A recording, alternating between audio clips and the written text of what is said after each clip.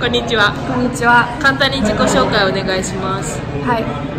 去年の9月からピアスカレッジに通っているマイトです。どうしてピアスカレッジを選んだのですか？私は中学校から続けているソフトボールを続けたかったのと4年生の大学に行くよりお金が節約できて自分の必要な授業が取れるからですピアスカレッジの好きなところを教えてください。ピアスカレッジにはいろんな国からの生徒やいろんな年齢の生徒がいるのでその人たちと話せるとこです。今は授業何をとっていますか？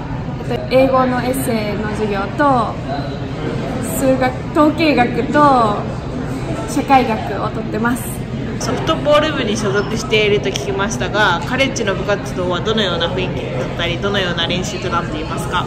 週に4回ぐらい練習があって週末シーズンになったら週末に試合があります。周りのチームメートはみんなアメリカ人なのでとっても英語の勉強になります。今は寮に住んでいますか？それともホストファミリーのお家に住んでいますか？ホストファミリーと住んでます。